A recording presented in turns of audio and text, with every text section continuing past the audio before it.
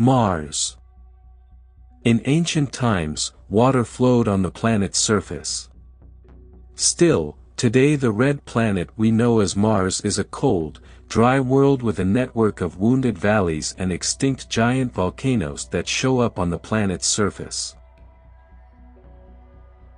Mars is the outermost planet of the four rocky worlds in our solar system, about half the size of Earth, and like our planet, it has a distinct, distinct crust, mantle, and nucleus. Because the planet was smaller than the Earth and farther from the Sun, it also cooled earlier than the Earth. But it is speculated that the outer core of Mars is still molten. Mars orbits the Sun in an elliptical orbit, approaching 42.6 million kilometers closer to the Sun at its orbital peak. Its axis of rotation is almost the same as the Earth. The planet completes one orbital rotation at about the same time as Earth. Like Earth, the axis of rotation of Mars has an angle, for this reason, we will see various seasons during a year on Mars. Mars is made up of an iron core surrounded by a mantle of silicate rocks. The mantle was the source of Martian volcanic molten material millions of years ago. The inner core of Mars is made of hard iron, the outer core is made of molten iron, and the mantle and crust are made of silicate rocks. Mars has a thin atmosphere, most of which is composed of carbon dioxide. Atmospheric pressure on Mars is low, only 0.6% of Earth. From the surface of the planet, the atmosphere of Mars looks pink because a fog of iron oxide particles is scattered inside the atmosphere. The planet's atmosphere becomes thinner in Martian winters.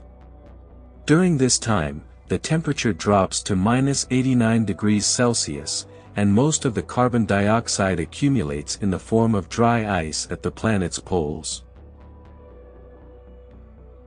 In the Martian atmosphere, mainly composed of carbon dioxide, there are signs of other substances such as oxygen, water vapor, and carbon monoxide.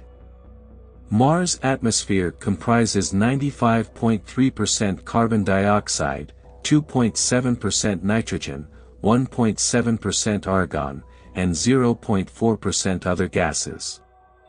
The average surface temperature of Mars is minus 63 degrees Celsius. Dust storms also occur on the planet based on regular seasonal patterns. Sometimes these storms have a planetary dimension. Continuous observations of spacecraft show that the planet is also experiencing daily climate change, among other things, sometimes the temperature may reach 20 degrees Celsius on a summer day. The northern hemisphere of Mars is composed mainly of low-lying volcanic regions. The southern half of the surface of Mars is higher and older, and there are more impact craters in the hemisphere that date back to 3.9 billion years ago when the asteroid was bombed. Tectonic processes have formed the bulk of the planet's surface features. The Mariner Valleys, for example, are a giant network of valleys. These valleys were created during the planet's youth due to its surface's rift. Due to Martian volcanic activity, extensive volcanoes in the Tharsis region have also developed over much of the planet's history. For this reason, almost half of the surface of Mars is covered with molten material.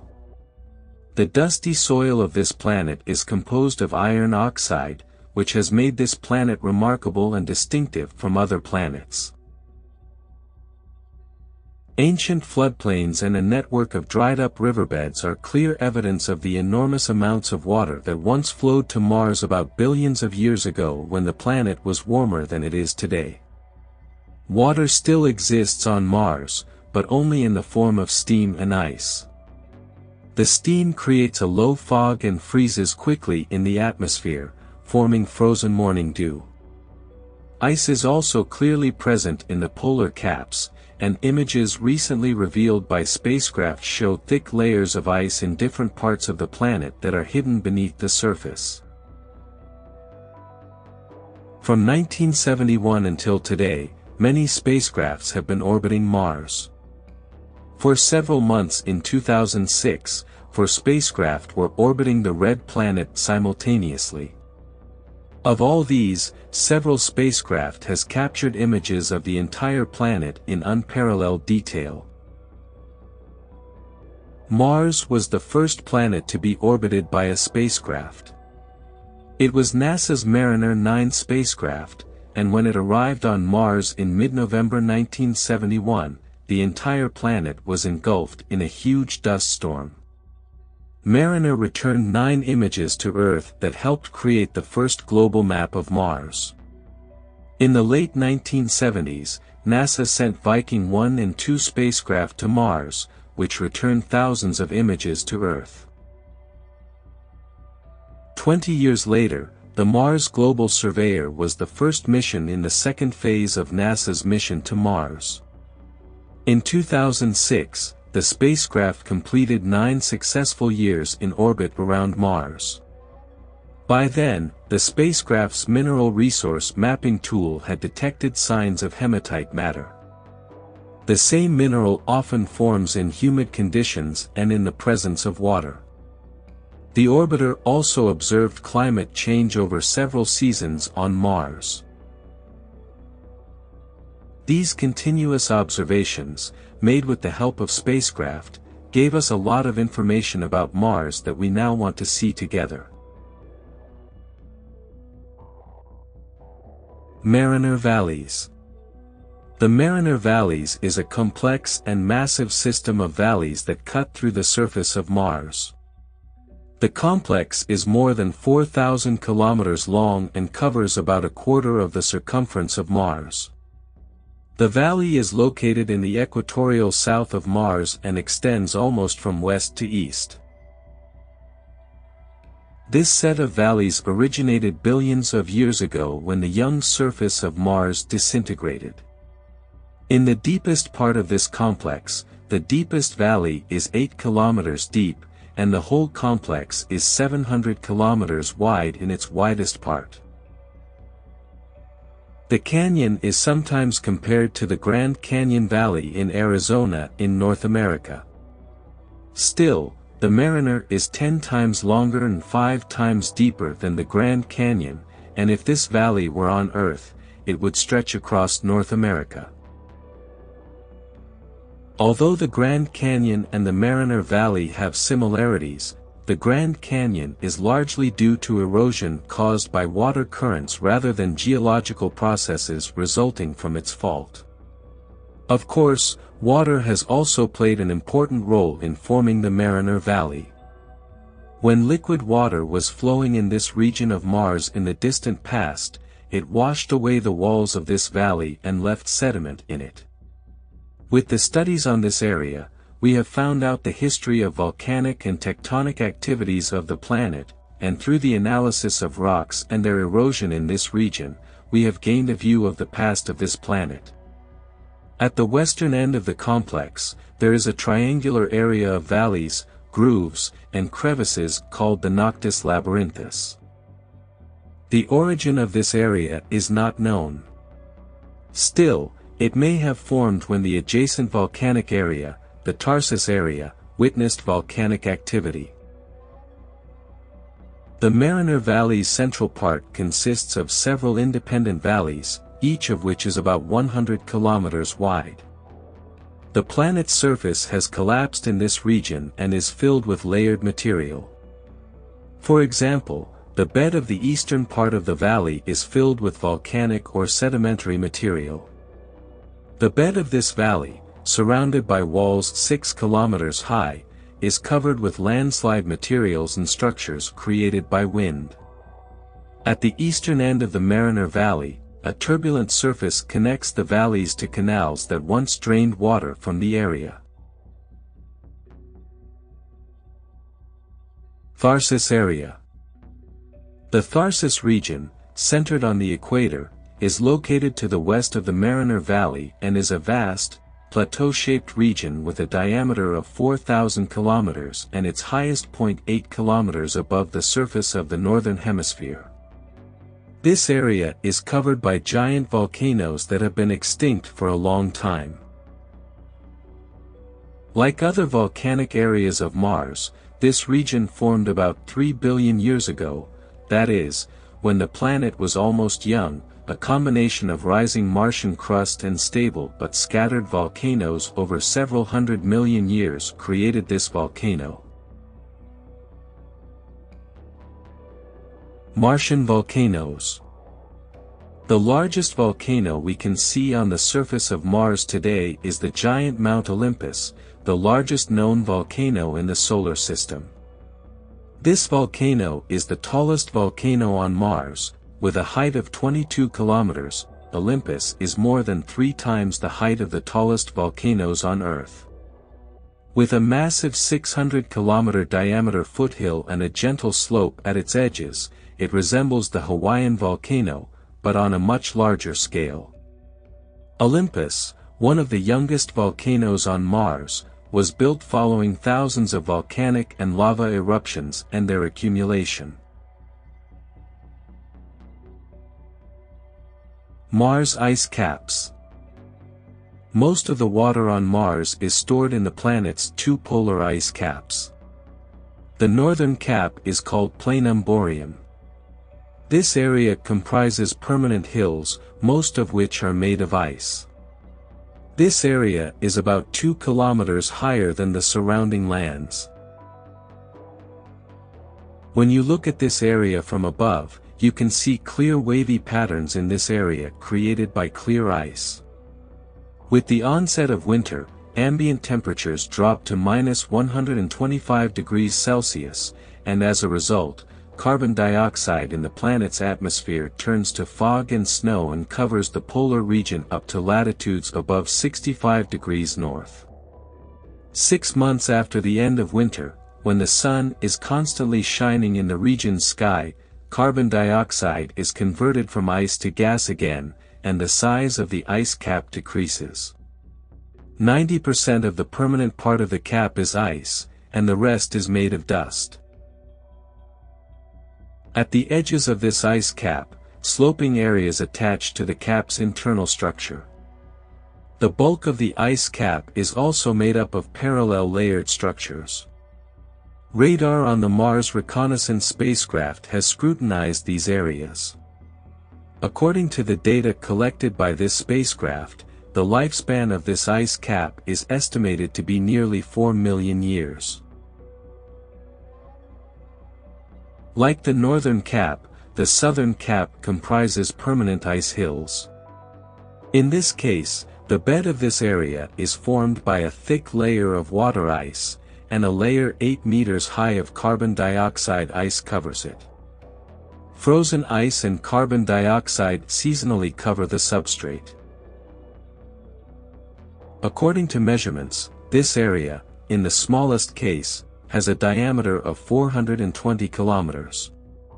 At the edges of the ice cap, steep slopes connect the area to the surrounding plains, forming hundreds of square kilometers of permanent surface freezing.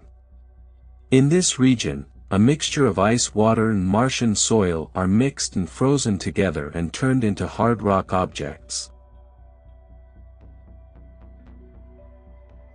Mars Sand Dunes Martian hills and sand dunes can be found everywhere on the planet.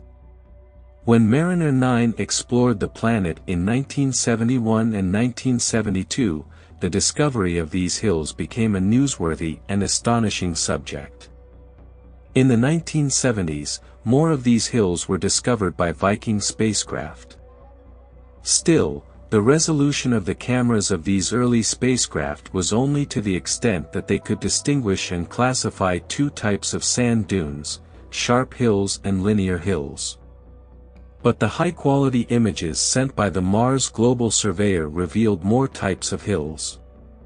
Specific images were taken by the Mars Exploration Spacecraft, UMO, specifically revealed more diverse structures, including wavy, moat-like structures, and other types of hills, with stunning detail. Many Martian hills are similar to sand dunes that form on the ground due to wind and have different shapes depending on the duration and intensity of the wind. Obstacles such as rocks also affect the accumulation of sand and the shapes it takes. Ground dunes are constantly changing shape, but Martian hills appear to have a stable structure.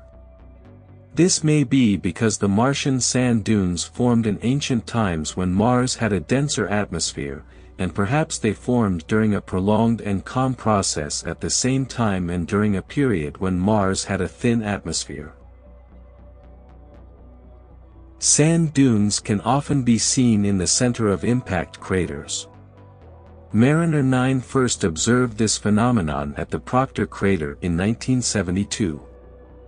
Images obtained from the MRO in 2009 showed that there are smaller ridges of sand next to these hills, known as waves in this and other craters. The spacecraft data and a close look at the Spirit and Opportunity rovers speculated that the hills were formed from a combination of dust and basalt sand extracted from volcanic rock. One of the types of sand dunes that is often seen on Mars but is rare on Earth is linear structures that form straight lines of sand and are formed by the constant blowing of the wind in one direction. Martian dust storms Dust storms are common occurrences on Mars, and they can occur and continue throughout the year. Along with them, seasonal storms begin to blow on Mars. Some of these storms occur only in a specific area of the planet, while others may cover the entire planet. Hurricanes originating in Antarctica travel across the planet, creating new storms at the end of their path, eventually sinking the entire planet into dust. The Mars Global Surveyor observed the planet Mars in June 2001 in the hope that such a storm would occur. The spacecraft was able to record a local storm that quickly turned into a planetary storm in a matter of weeks. Antarctic dust storms begin when carbon dioxide ice is heated and evaporated by summer sunlight, creating rapid winds. These winds carry the dust with them and scatter them all over the planet. The spacecraft has also observed other temporary events similar to their ground samples, such as local dust storms.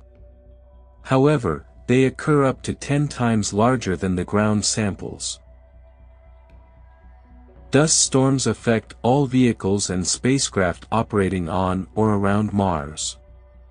Those in orbit around Mars will not be able to image the planet's surface, and rovers on the planet's surface, operating on energy received by solar panels, will lose their energy source. When the storm calms down, the rover's solar panels are covered in layers of dust, which reduces the sun's energy intake, reducing the robot's electricity generation and overall performance. These storms can also turn into tornadoes in some places. These rotating columns of dust may reach a height of about 10 kilometers. These tornadoes occur when atmospheric gases heat up during the day due to the surface temperature of the planet and rise. Driving on Mars By 2021, nine NASA-owned instruments will have landed safely on Mars. Five were designed to stay in the same landing area, and the rest were designed to patrol around the landing site. The most famous rovers, Spirit and Opportunity, landed on both sides of Mars in January 2004 and, with their astonishing success, paved the way for further progress. The first rover to land on Mars was the Sojourner, which arrived in July 1997 with the Pathfinder rover. The rover was about the size of a typical home microwave oven and surveyed 16 points near the landing site. The Spirit and Opportunity rover twins were not only larger but also much more advanced. Each traveled several kilometers on Mars and stopped to conduct scientific experiments several times. Sojourner relied on the Pathfinder rover to perform some of his basic functions, such as communicating with Earth. But each of Mars' exploratory twins carried everything they needed.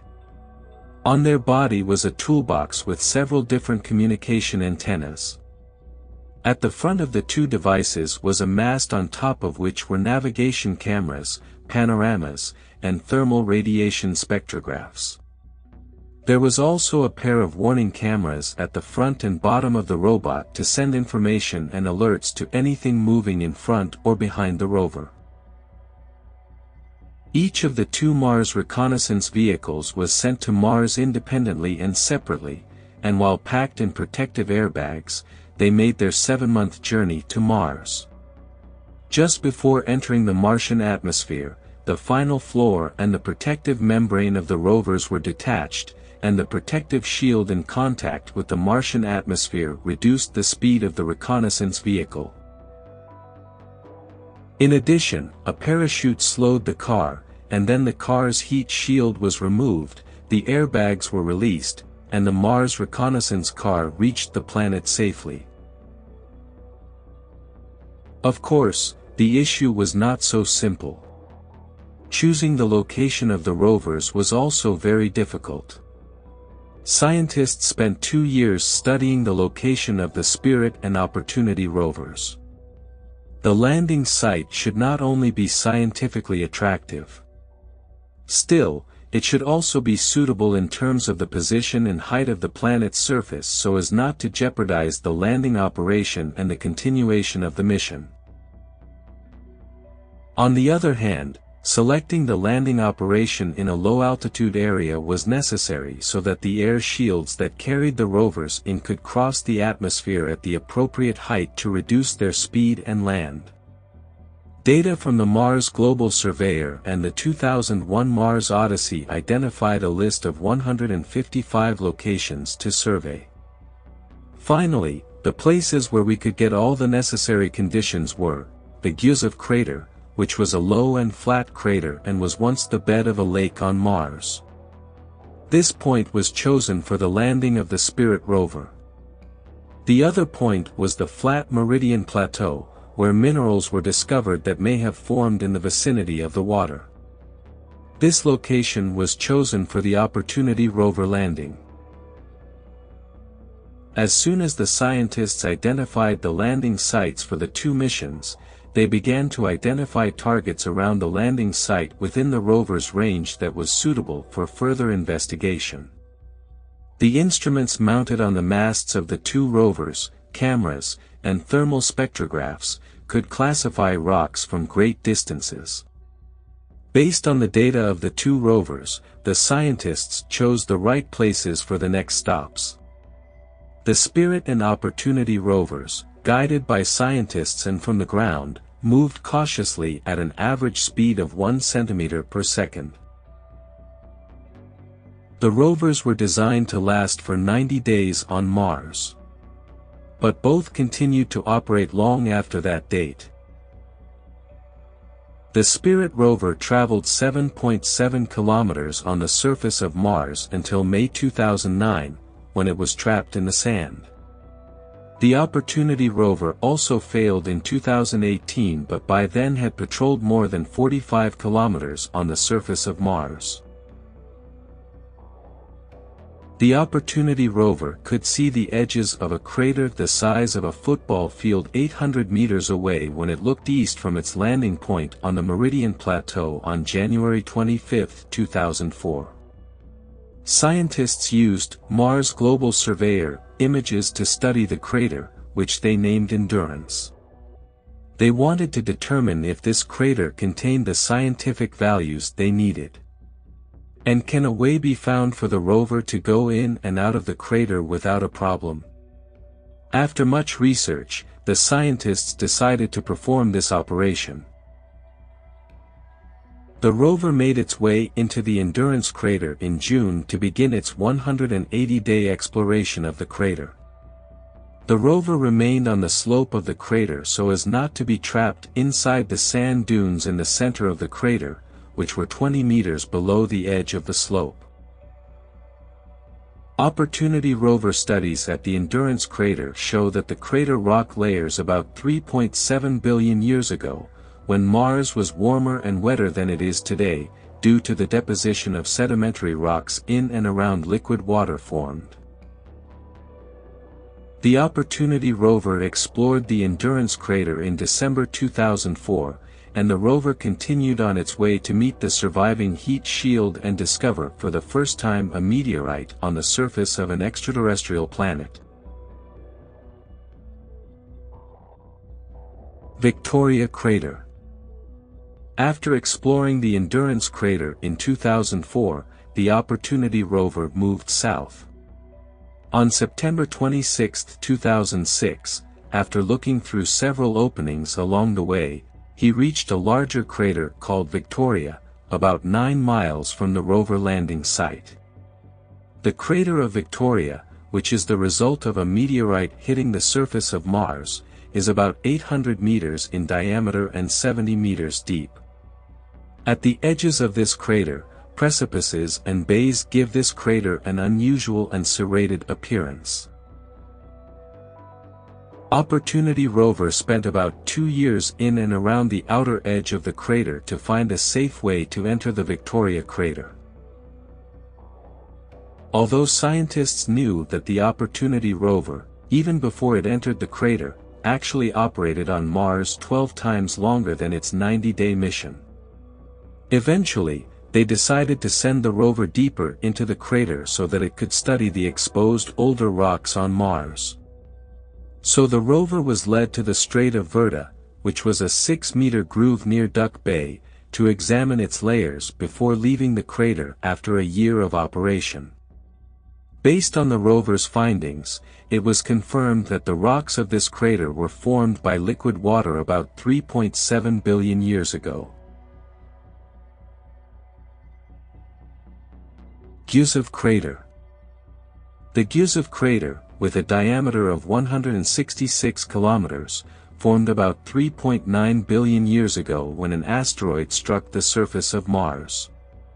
Scientists think that liquid water flowed into the crater from a groove called the Medim Valley, creating a lake in ancient times. To find evidence to support or disprove this, scientists choose the Gusev crater, named after Russian astronomy, as the landing site for the Spirit rover. During one of these patrols, the rover concluded that the valleys of this crater look similar. At the same time, no suitable way was found to enter the crater, and the scientists decided to take the opportunity to return to an area called Duck Bay and enter the crater. So, the scientists decided that Duck Bay, with its gentle slope of 15 to 20 degrees and clear rock bed, is a safe passage for the rover to enter the crater. So that was the path through which the Opportunity rover made its way into the crater on September 13, 2007, and two weeks later, the rover reached its first target. After studying the first panoramic image the rover sent to Earth from around its landing site, the scientists decided to send the rover to a series of seven small hills inside the Gusev crater. The hills, as a whole and individually, are named after the seven astronauts who died when the Columbia Space Shuttle returned to Earth in 2003. In August 2005, the Spirit reached the foothills of Hill and stopped several times to study the boulders. From there, it went to the home plateau, a flat plain 80 meters in diameter and located inside these hills.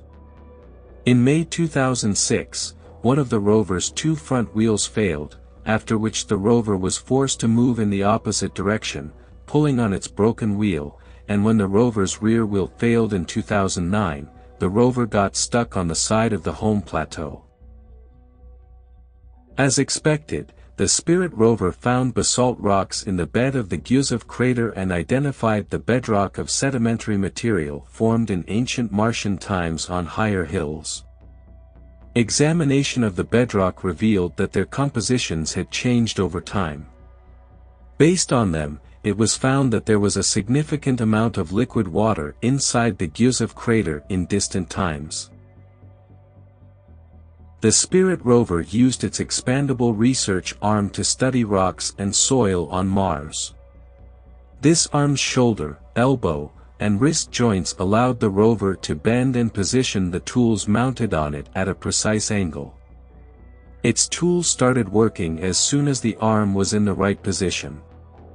The abrasive stone tool, or RAT, removed the surface material to reveal its fresh material. The reason for this was those surface materials were sometimes not good for scientists to research due to climatic phenomena and exposure to the atmosphere or dust that had settled on them. Two rover spectrographs, after this stage and for the next 10 to 12 hours, took data from this section to determine the composition of the exposed rocks. Another tool was a microscopic imaging device that provided scientists with close-up views of these areas. These data allowed scientists to analyze the dimensions and shape of rock particles. The results of these studies showed that liquid water was once next to and in interaction with these rocks and changed the composition inside them. Mars Moons Mars has two moons called Phobos and Deimos. Many astronomers believe that these small, irregular-looking objects were not planets from the beginning but rather were asteroids trapped by the planet. Phobos' descending orbit emphasizes that the object has been on Mars for less than 11 million years. Phobos and Deimos are locked in circular orbits orbiting Mars, meaning that, like Earth's moon, these moons always show only one hemisphere to Mars, and only one side of the planet can be seen. Phobos is bigger than Deimos. The moon is 26.8 kilometers in diameter, and once every 7 hours and 39 minutes, it orbits the planet from a distance of 9,378 kilometers. Deimos is slightly larger than half of Phobos, twice as far from the surface of Mars as Phobos, and four times as long as Phobos rotates, Deimos needs time to orbit Mars once. Observations show that Phobos orbits are getting 1 inch, or 2.5 centimeters, closer to Mars each year. This means that the time will finally come when the Phobos collide with Mars, or it will most likely break apart along the way. Both moons were discovered in 1877 by the American astronomer Asaph Hall. But we did not know much about them until recently. Even now, astronomers are not sure about their origin. Some think that Phobos formed from the remnants of the planet Mars and, of course, after the creation of Mars, and others think that Phobos and Deimos are both asteroids trapped by the gravity of Mars. Phobos. We know Phobos better than Deimos. Especially since the Mars Express made several close passes along the Phobos in 2010, Phobos' gravity slightly deflected the spacecraft. But it was less deflected than scientists had expected. With this in mind, they concluded that Phobos was not dense enough despite their solid appearance and that there were probably holes filled with air inside it. Instead of Phobos is a large piece of rock, it appears to be a collection of destroyed rubble stacked by gravity. Deimos At 15 kilometers long, Deimos is about the size of a large city. Like many asteroids, Deimos is composed of a combination of carbon-rich rocks. This is why some scientists believe that Deimos was once an asteroid. Like Phobos, this moon has witnessed many bombardments, and its surface is covered with a layer of red regolith or, in fact, soft rock soil. The surface of Deimos is generally softer than that of Phobos, as many of its impact craters are filled with regolith.